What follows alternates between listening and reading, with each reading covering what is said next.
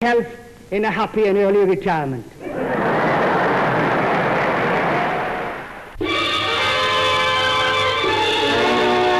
Wallowing helplessly in a heavy Atlantic swell about 700 miles west of Ireland, the 6,000-ton Liberian freighter Greenville was in a sinking condition when the Ile-de-France came to her rescue.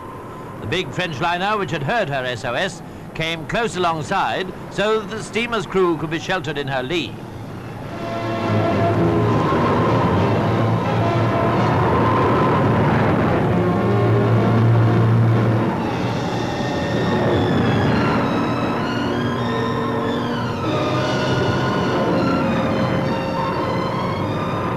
Presently, the Ile-de-France lowered away some of her boats, and the men of the Greenville went down a ladder into the sea. The second officer had lost his life during the gales that had put the freighter out of action, but the remaining 25 swam towards the liner or were picked up by her boats. All but one of them was saved. These pictures, taken from aboard the Ile-de-France and since enlarged, certainly tell a vivid story of this dramatic Atlantic rescue.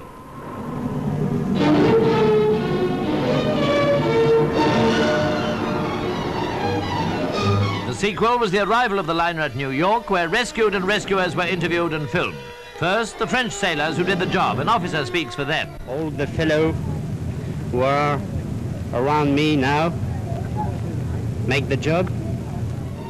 And now here are some of the men who survived the grim ordeal and were saved in the nick of time. One of their officers thanks the French captain.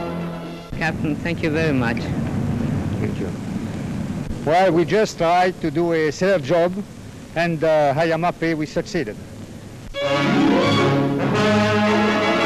Lieutenant Commander